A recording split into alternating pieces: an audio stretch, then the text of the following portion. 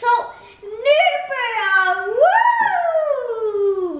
Og den ene bog, som er den her, den hedder Ferie, fjender og flødeskum.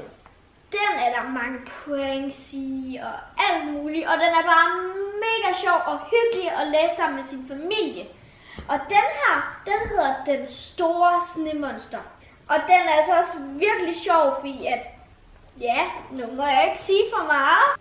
Men selvfølgelig er det jo ikke mig, der har skrevet bøgerne. Det er selvfølgelig Line, en forfatter, som har skrevet de her øh, fire bøger.